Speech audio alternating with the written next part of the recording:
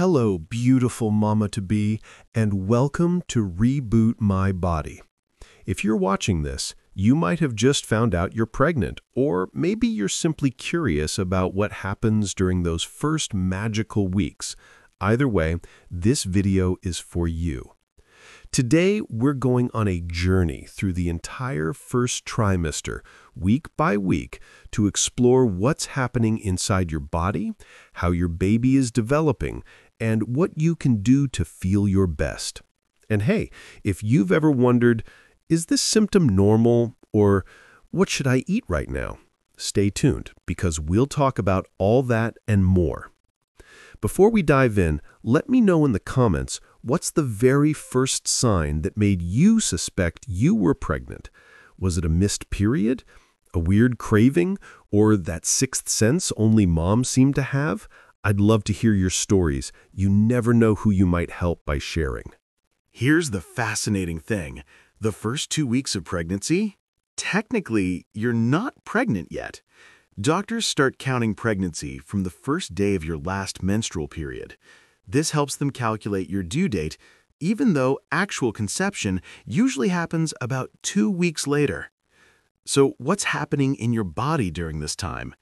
Your body is preparing the perfect home for a baby.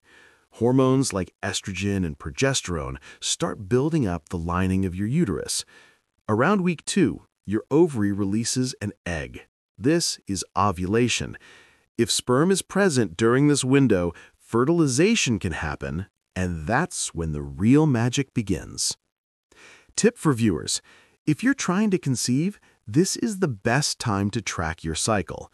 Some women use ovulation kits or simply pay attention to body signs like temperature changes or cervical mucus. Picture this. One single sperm meets one single egg and within moments, a unique genetic blueprint is created.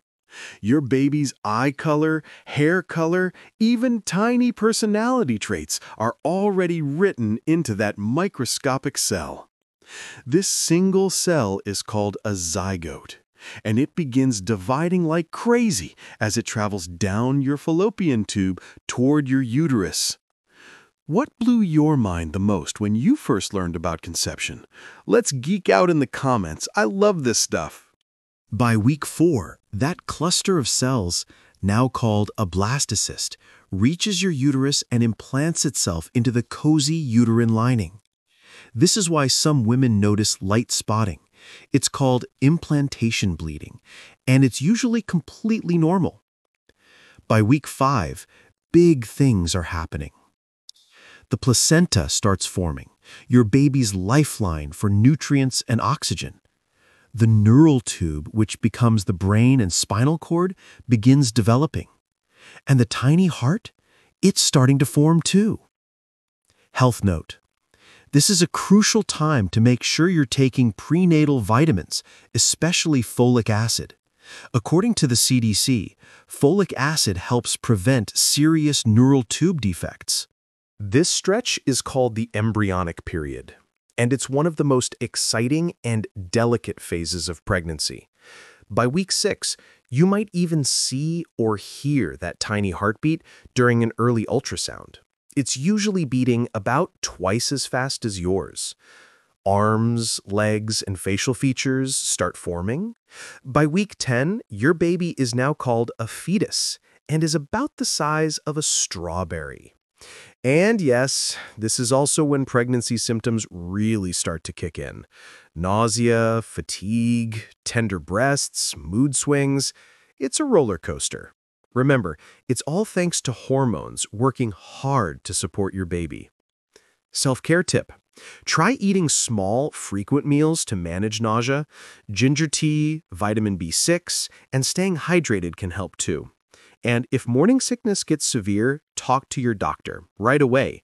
There are safe treatments available. Mama's watching. What's your weirdest pregnancy craving so far?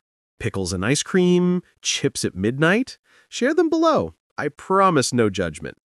Congratulations! You're nearly a third of the way there. By the end of week 13, your baby is almost 3 inches long and can even move arms and legs. fingers and toes are fully formed. The risk of miscarriage drops significantly after this point, which is why many couples choose this time to share the news with friends and family. This is a great time to start thinking about prenatal classes, planning a healthy exercise routine, and building a strong support system. Let's talk about you, because a healthy pregnancy isn't just about the baby. It's about the mother, too. Focus on nutrition, whole foods, leafy greens, lean protein, and lots of water. Sleep. Your body is working hard. Aim for 7 to 9 hours. Movement. Gentle exercise like walking, swimming, or prenatal yoga can boost your mood and energy. Mental health. Journaling, meditation, or simply talking with a friend can make a world of difference. Mayo Clinic and ACOG both emphasize the importance of stress management during pregnancy. Wow, we've just traveled through 13 weeks of pregnancy together. Remember, every pregnancy is unique. Listen to your body, ask questions, and partner with your healthcare provider. They're your best ally on this journey. If this video helped you, please hit the like button and share it with a friend who's expecting. And if you want more trusted, science-backed pregnancy and health tips, make sure to subscribe to Reboot My Body. We're building a supportive community right here. And now, I'd love to hear from you. What part of the first trimester surprised you the most? Or what's the biggest challenge you're facing right now? Drop a comment below. I read every single one. Take care, Mama. You're doing an amazing job already.